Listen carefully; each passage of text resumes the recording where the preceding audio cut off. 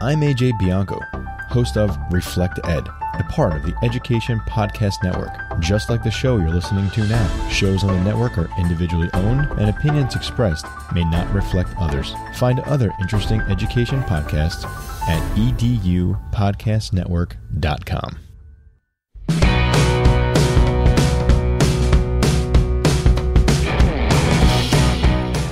Welcome to episode 119 of the Google Teacher Podcast, your source for the latest Google for Education news, tips, tricks, and ideas you can use in class tomorrow.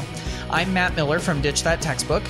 And I'm Casey Bell from Shake Up Learning. And in today's episode, we are sharing your tips these are the tips that the listeners have shared with us. So, this is actually my favorite kind of episode. This is the episode where Matt and I get to sit back and just share the wonderfulness of all of you, our listeners, as part of the Google Teacher podcast. So, we've got some Google Teacher tips for you as well as some Google News and updates and a few things that are going on on the blogs. So, you ready for this, Matt?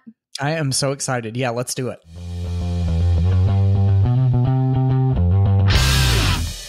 So, to kick off our Google News and updates, you might start to see a little change in your Gmail layout. If you're using Gmail for your email, there is going to be a new quick settings menu. And this is going to be able to be displayed on the right side of your screen when you click on the settings.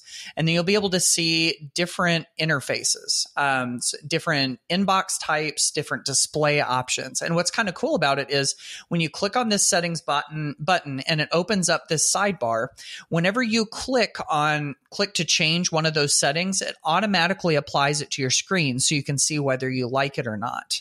And so um, it's kind of like that old old idea of what you see is what you get. You know, you click on it, you change it, and you go, "Yeah, I don't really like that." And then you can go change it back, and then you just close out that sidebar. So it really makes it easy and fast to be able to customize your uh, inbox in ways that you may not have realized uh, just because it's available right there. So this is a pretty cool little feature, pretty simple one. Um, it should be rolling out to rapid release domains as soon as you've um, heard this, it, it should be going out in the end of May 2020. And then to scheduled release domains, it'll be out into later June, something like June 20th, 22nd, something like that. So um, keep an eye out for that. And uh, that'll help you customize your inbox just the way that you want it.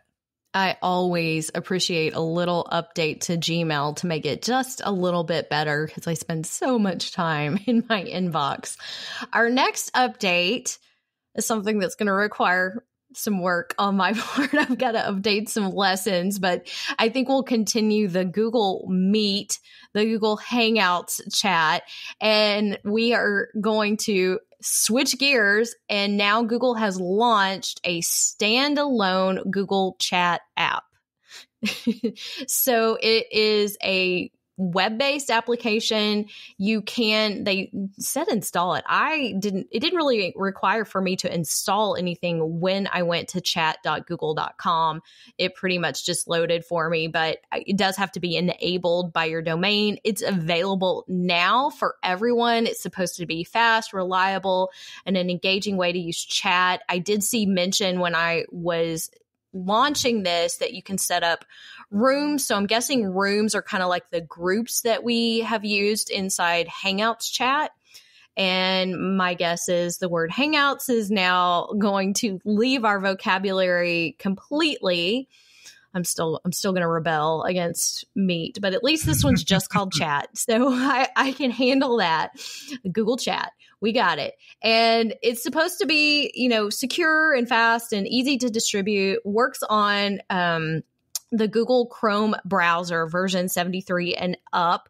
So that was actually remo- uh, released way back in March 2019. So you would have to have a pretty old device that hasn't been turned on in a while to be running something that can't actually run this. So I think this will be handy. I think more teachers are taking advantage of chats and things like this, both professionally to communicate within their campuses and with other teachers and staff but also in terms of supporting students remotely. So this may come in handy with chatting with students or parents as well.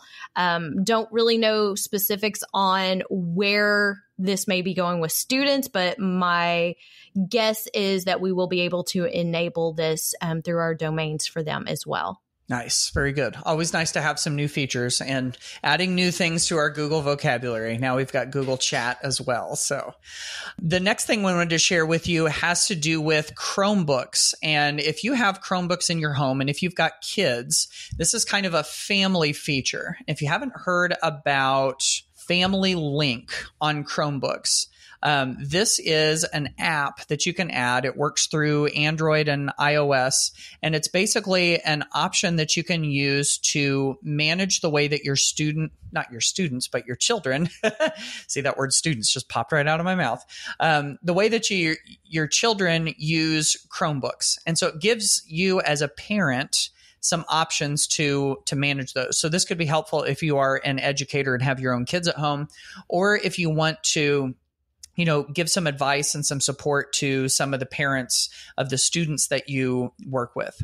And so, among the features that they they mention in this post, uh, one is giving you the option of basically approving and denying apps and themes and extensions and different things in the Chrome Web Store.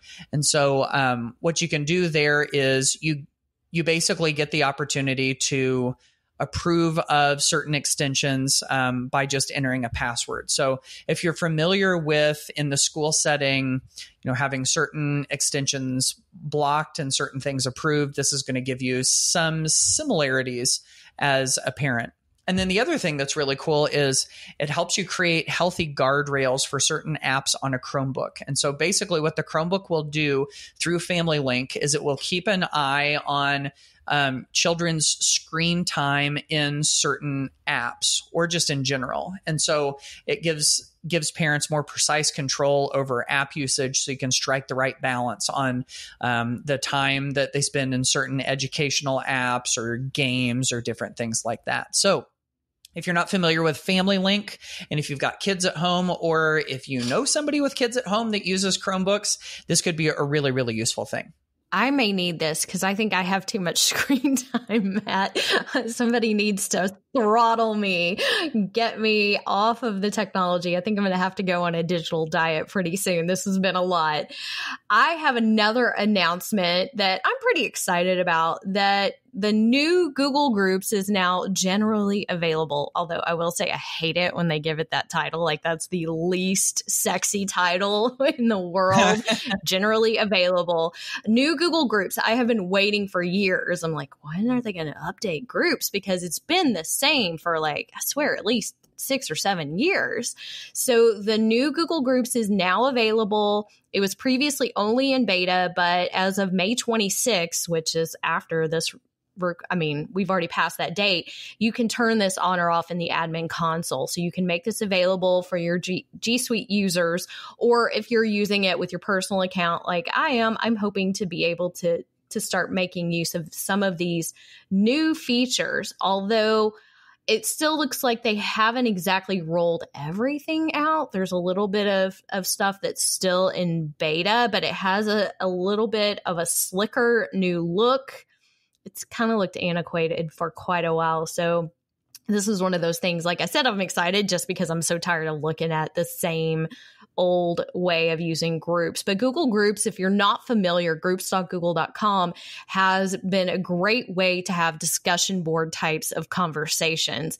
And that's not something that works as well in Google Classroom. It doesn't thread it the same way like a discussion board is. So if you haven't explored this as an app, it may be time to look at this, especially as we're trying to set up some asynchronous communications um, within our schools. It could be very helpful. Yeah, that sounds really, really cool. Um, it seems like there hasn't been, just like what you're saying, there hasn't been a really good solution to this kind of thing, and so hopefully this will this will really help us out. So, um, if you, you want to check out more information about any of these things, of course, you can go to our show notes at googleteacherpodcast.com/slash one nineteen.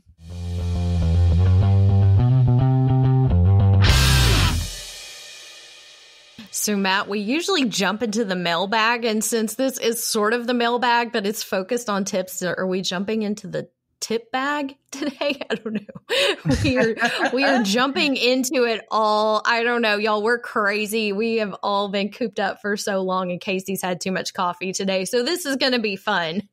The first tip I have to share is from my friend Susan Vincentz from Kentucky, and Susan is sharing a really great Screencastify tip. If you've never used Screencastify, it's pretty fantastic, and they keep adding some really cool features.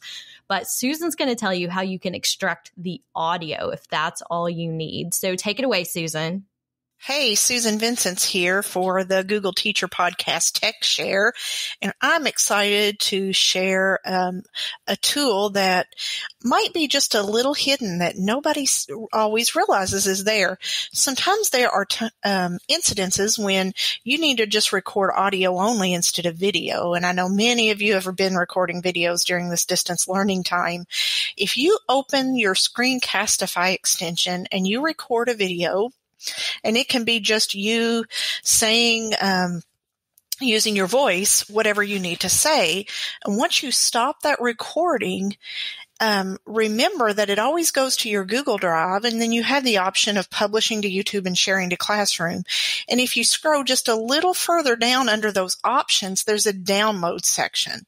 And if you drop that download menu down, it gives you the um, option to export audio only. So that's just a little known little hidden gem there in Screencastify um, that where you can export audio only when you don't necessarily need a video file. So quick and easy tech tip there. Enjoy and happy teching. Love it. Quick, simple, easy to use. And yes, there is power in audio. Isn't this podcast the perfect example? Yeah, yeah, absolutely. I think so. Very good. Good tip. Thank you for that, Susan. By the way, you said if it's we were jumping into the mailbag, but this is tips. Does that mean that we're jumping into the tip jar? Tip jar. I said tip bag. Tip jar sounds yeah, a little bit better, yeah, but no, I think, much more challenging. Yeah, yeah, I guess so. I don't know. So, okay, very good. Well, I wanted to jump into this next one in the next part of our tip jar. Um, this one's from Stephanie Howell from Ohio, who always has lots of really good ideas. And she has some thoughts about Google Educator Groups. So, Stephanie, take it away. Hey, it's Stephanie Howell from Pickerington Local School District. I really suggest that you join your local GEG. GEG stands for Google Educator Groups. And what it is, is it's just people gathering together to collaborate, talk about Google, and really build that community to expand your knowledge. You're no longer working in a silo and you're working as a group collaboratively together. You're stealing ideas, you're building on those ideas, and you're supporting and cheering others on. It's an amazing community. Um, I currently lead the Ohio GEG um, with Eric Curts, but also thinking about this globally. So recently, me and a group of people, um, we started a global GEG. And so what global GEG is supporting those local GEGs. So supporting those local Google groups for education. And what we do is we host events together. So it's not just for Ohio. It's not just for people in London, UK. It's not just for people in California. All of these groups of people are able to come together and communicate with one another to grow and learn and build upon each other's ideas. This has really built me up as an educator because I was so in my own little world. Now, when I talk to people all the way from California, I can get their perspective on how they solve problems and use that idea to better solve my problems in my own little world. So definitely get into a GEG. Um, if you need resources, they will be in the show notes. Yes, this is so good, so important. If you haven't found out about Google Educator groups, if you haven't found one in your area, and maybe now is a great time to do it. And I know lots of folks have, um, you know, really built up their personal learning networks and have really you know built a sense of community around those and so um, we do have a link in the show notes as stephanie mentioned uh, for some more information about google educator groups so definitely go check that out our next tip comes to us from down under. So we have Katie Wardrobe from Melbourne, Australia, and she is sharing a really cool Chrome extension that lets you do some super cool things with YouTube and Vimeo videos. So take it away, Katie. Hi, Matt and Casey. It's Katie here from the Music Tech Teacher podcast with a tip for your final episode. I thought I'd share a Chrome extension that I discovered a few months ago, which is called Transpose. And once you've installed the Transpose extension, it gives you a little control panel that you can use on YouTube and Vimeo videos. You basically open up the video and then you can open up the transpose control panel to do things like change the playback speed of a YouTube video or transpose the music video up or down a little bit if you need it in a different key. And one of my favorite things is that you can set up a playback loop in the video that you're watching. So this is super useful for music students who might be practicing a song and they need to play a small section over and over and over to get it right. But I think it would also be useful perhaps for language learners and people doing reading practice.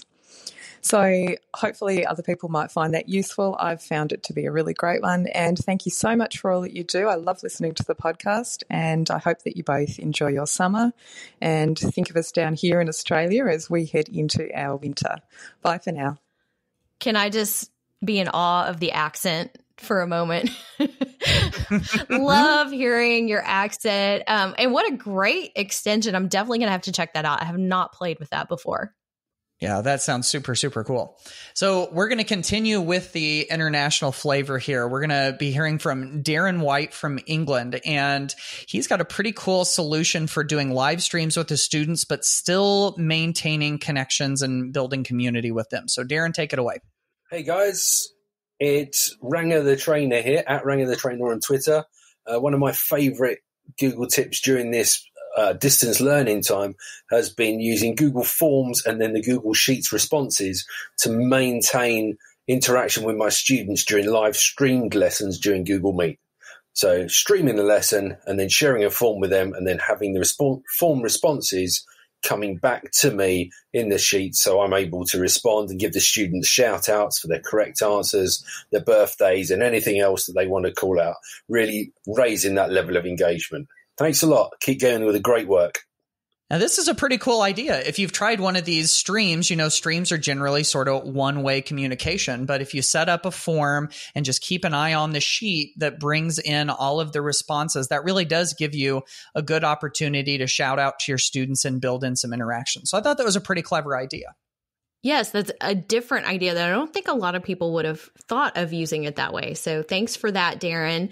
We have another tip coming to us today from Arkansas. This is from Tanner Oglesby. And Tanner is reminding us of the power of Google Forms and how much it came in handy during this whole remote learning thing. So take it away, Tanner. Hi, my name is Tanner Oglesby, and I teach in uh, Central Arkansas, teach high school. I just wanted to give the tip of potentially using Google Forms as um, a database creator in Google Sheets. So I use Google Forms at the beginning of each year to get a bunch of new student information, parent, guardian contact, all of that information. Um, into I, I, I, have the students fill out kind of a quiz uh, to give me the information. Then i create a google sheets and i use that sheet um, to be able to keep in contact with families in an easier way than having to go through my school database system um, and I found that during the remote learning situation, it has been super, super helpful. So I would just recommend um, using Google Forms to create a database on Sheets. And um, you can use the Command F feature to search a student quickly, find their parent, guardian, contact information. Um, it's just super, super helpful. Thought I'd help. Thanks. Isn't that a great reminder? So, just the fact that we can feed all that information into a Google Sheet makes Google Forms so powerful. I always say they're like a married couple. When I teach these two apps, I always teach them together. They go hand in hand and can give us some really powerful data. So, whether we're collecting parent information, contact information, we're doing some surveys, we're getting to know our kids, definitely going to come in handy um, as we look into the fall and whatever the new normal is those are those really are so powerful when they work together. So, our next message comes from Dan Stitzel from Ohio, and he's going to talk about one of his favorite tools and one of mine as well, uh, Google Keep, and all of the flexible uses of it. So, take it away, Dan. Hello, this is Dan Stitzel, a tech integration coach from Akron, Ohio. I think one of the best tools that just does not get used to its full potential all that often is Google Keep. Keep is excellent for personal organization and creating quick notes for yourself or checklists for yourself or copy and pasting links to go back and visit later. But it's excellent for sharing with other people as well. So you can actually share individual notes with a co-teacher. So let's say you want to brainstorm ideas for a lesson or a unit you can share a note that you start and you can both add to it. Or you can create a checklist for a student, kind of help them stay, you know, on task each day. And you can then share that individual checklist with that student. So just the two of you are seeing it. So you can kind of, you know, communicate on what's getting done. One of the coolest features though that I'm not sure a lot of people know about is the location reminder feature. So you can rem- you can set reminders for time, so date and time, but you can also set reminders for picking a place, a specific location. So if you think of something at home and you want to remember when you get to work, you can set it so that when you get there, that reminder will pop up in your Google Keep. Or if you're like me and you travel from building to building, you can make it so that when you get to certain buildings, those certain notes will pop up so that you can then accomplish whatever that task is that you you noted in your Google Keep.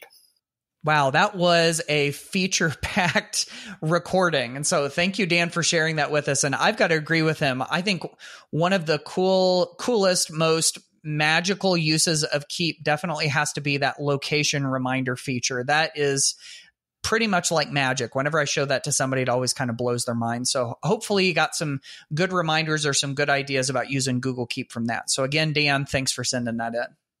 Oh yeah, I love Google Keep. I call it the instant pot of G Suite. We already got the Swiss Army knife in Google Slides, but Keep is pretty powerful and does a lot more than what most people think. So, thanks for sharing that, Dan.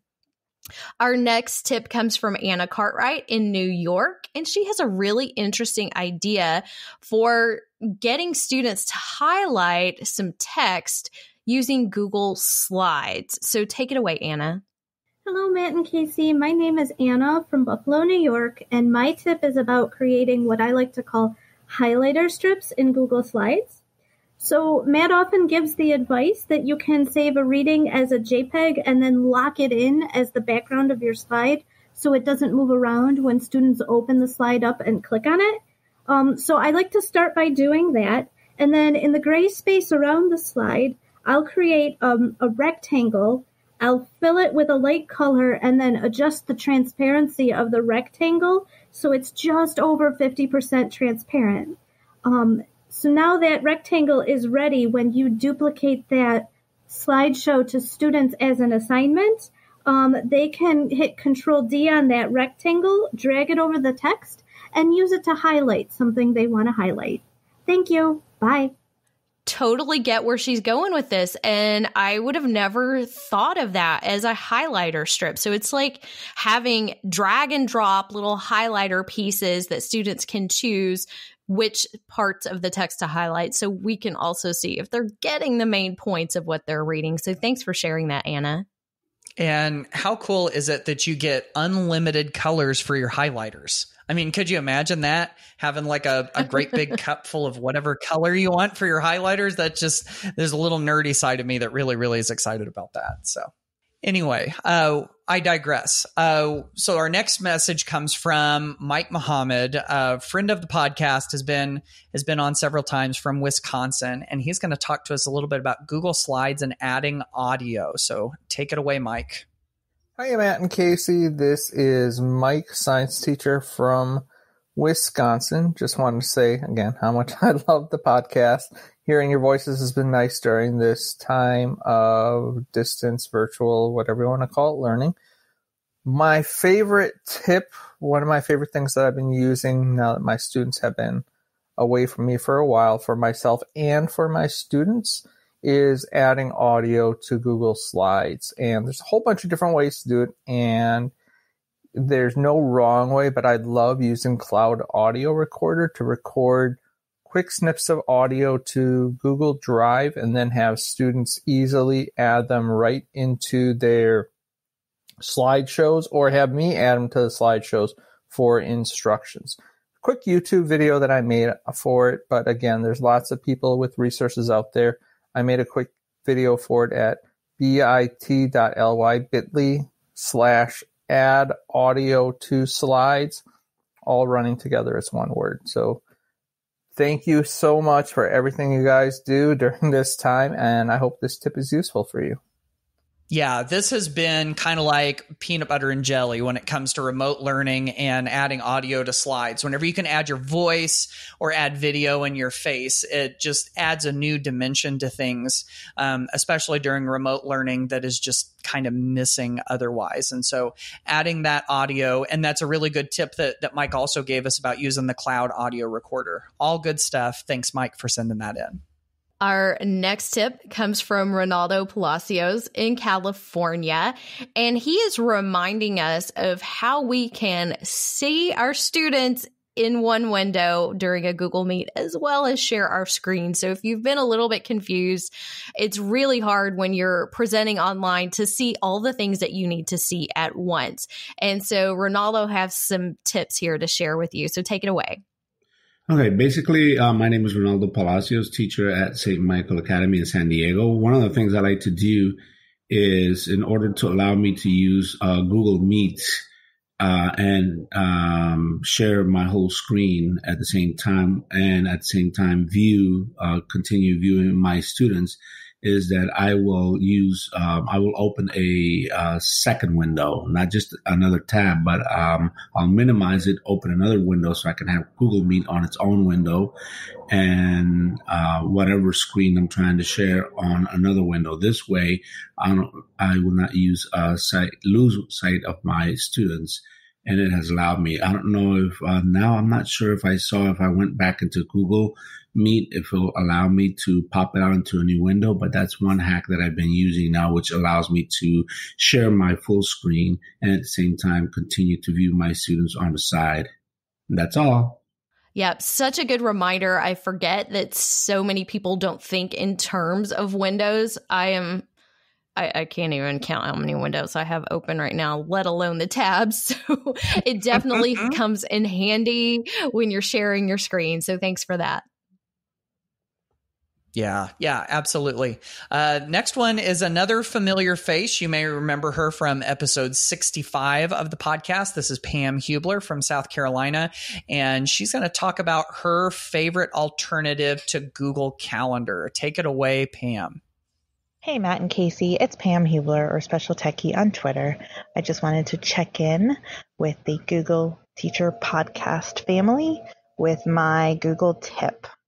I like to use Google Sheets instead of using Google Calendar to keep track of my daily activities and things like that as a coach. I do this because it takes a lot less time for me to just update one Google Sheet for the month than it does for me to add individual events on my Google Calendar. Then it's also easy to share with admin or for teachers to see where I am. So I've got an updated tracker in my show notes from episode 65 a long time ago if you want to check it out.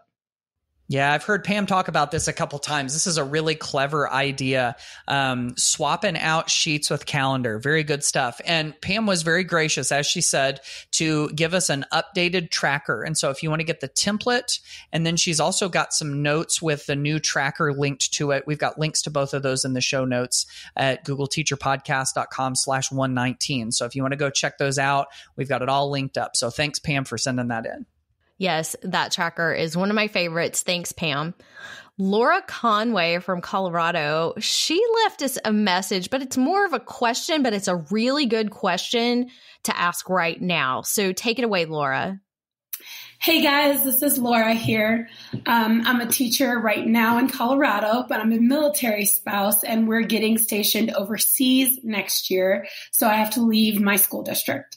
Um, I remember a few months ago, you talked about either an app or an extension where we could copy all of our school files over to our personal files in Google Drive. Um, instead of just like manually downloading every single thing.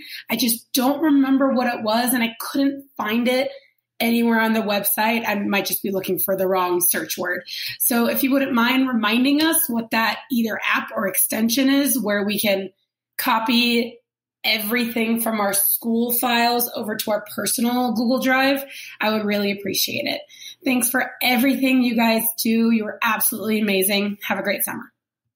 Oh, okay. This is a huge reminder for everyone because this is the time of year when you may be transitioning. You may be moving. She's a military spouse, so she's going to be traveling overseas for the next school year and she needs to take her Google stuff with her. So there is a program called Google Takeout, and it will allow you to download a zip file of all of your Google files. It's not exactly everything, but it's pretty much the most important things that you will want to take with you. So that is one way that you can transfer um, open that zip file and then upload it into your new account. I also do a lot of sharing and moving things around between a personal account and a school account. That will let you do a few things and you can change ownerships if you're the original owner of documents. But um, yeah, you want to make sure you're getting all of your stuff and you don't leave it behind. Yep, absolutely. Very good. Very good stuff to remember. Uh, this next one came in via email, so we don't have a voice message with this one, but it comes from Kim McClintock from San Antonio, Texas. And she asks, I would like to know if you have any suggestions for how to keep track of assignments that are turned into Google Classroom. I have a digital journal or notebook that I've had students doing uh, for a novel study, and every week I add new slides to their journal. However, if I'm still grading work that they turned in, they can't begin work on the new assignment until I return it to them. Do you have any suggestions for how I could assign work for them and allow them to continue working without me having to return the journal so that I can continue grading while they continue working?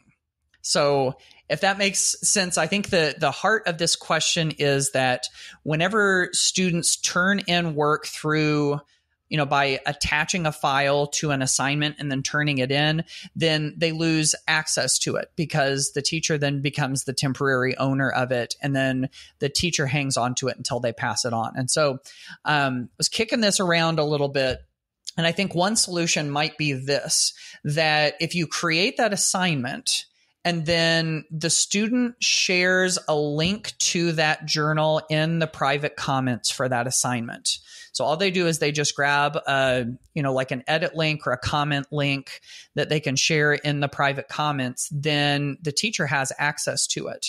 And then whenever they're ready to turn it in, all they've got to do is just hit that turn in button. And then that way they're not actually passing ownership of the file over to the teacher but the teacher still has access to the file because of the share link. So then you could go in and you could click on it and you can add whatever feedback that you want to, and then you can give the student the grade back. And the te- the student has never actually passed ownership over to the teacher. So that's kind of one little workaround that I could think of. I'm sure there's lots of other ways to do it, but that's the first one that comes to mind for me. So Kim, thanks so much for for asking that question. Our next tip is I think pretty awesome. It's from Amber Hook from North Carolina, and she is using Google Voice in a very interesting way. She's using it to record song stories for her students. So take a listen to this. Hi, Matt and Casey. My name is Amber, and I'm an elementary music teacher from Western North Carolina. And I wanted to share an idea that I use during this remote learning time.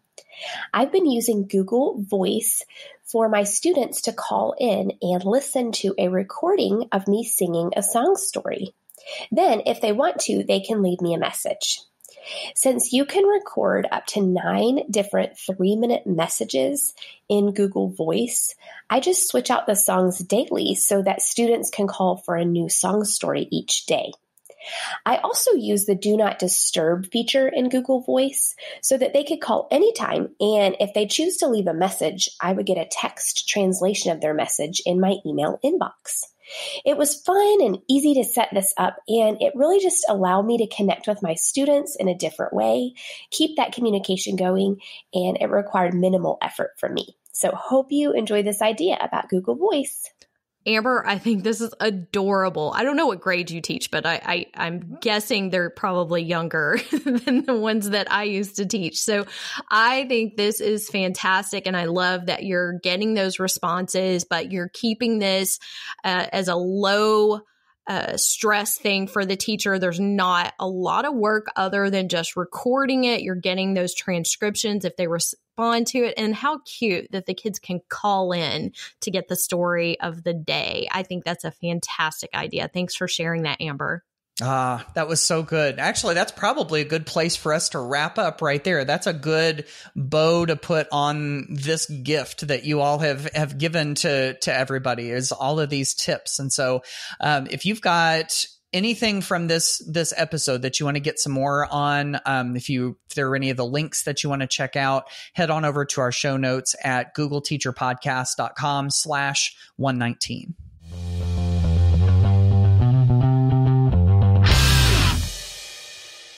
So it's time to wrap up this episode with just a few blog posts, and then we are going to be putting a bow on this season of the podcast. So I've still got lots of free resources to my new book, Tech Like a Pirate. Uh, you can find those at techlikeapirate.com. It's all about using the classroom technology that we have to make learning unforgettable, to make it a memorable experience. Um, and of course, the book is available if you want to go check it out. I've also got a post that you can check out related to Google Sites 20 Google Sites tips and tricks. This is one that we've updated recently with some new stuff. And so lots of good stuff here for you to go check out. And it's that time of year, y'all. We are wrapping things up, cleaning things up. You know, in last week's episode, we did a whole cleaning up Google Classroom and Google Drive episode. So I went ahead and added a link to my blog post that I just updated. So um, this was a post that I think originally came out last year. But anyway, I updated my Google Classroom cleanup tips with a little remote learning twist. So that's there for mm-hmm. you. I've also got tons of free resources if you're interested in getting Google certified this summer. So with everyone needing to kind of take their Google skills to the next level, that is definitely something to look into. And I wanted to announce that I will be part of a virtual conference that is, I believe it's June the 5th, if I'm remembering the date correctly. So it should be this week as you're listening to this episode. It's called Get Your Virtual Lead On. So there is also Get Your Virtual Teach On. If you've heard of Get Your Teach On, this is the virtual version. And I'm going to be in the leadership conference. So um, I'll be doing a presentation there, but there are tons of great speakers. If you're a leader or you want to share this with your leaders, I would love to see you there.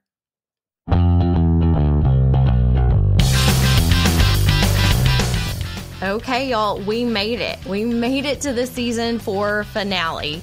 It was on fire, not because of us, but because of you. And I do feel like we had several mic drop moments in there. These are my favorite episodes, and I think that they are the most popular downloads in our entire history of the Google Teacher podcast. So we hope you have enjoyed it, that you are walking away with tips and tools that are going to carry you through the summer and into the next school year that wraps up this season of the Google Teacher Podcast. We're going to take a couple of months off in the summer to let you recharge and get your batteries reset for the new year, as we will be doing as well. And then we'll get right back with you in the fall with another season. I think that wraps it up for another season. So we will catch you on the next season of the Google Teacher Podcast. Bye, y'all. Thanks for listening to the Google Teacher Podcast. Never miss an episode by subscribing wherever you listen to podcasts and by visiting our website, googleteacherpodcast.com. Join the conversation on Twitter by using the hashtag GTPod. Until next time, keep harnessing that G Suite power and may the Googles be with you.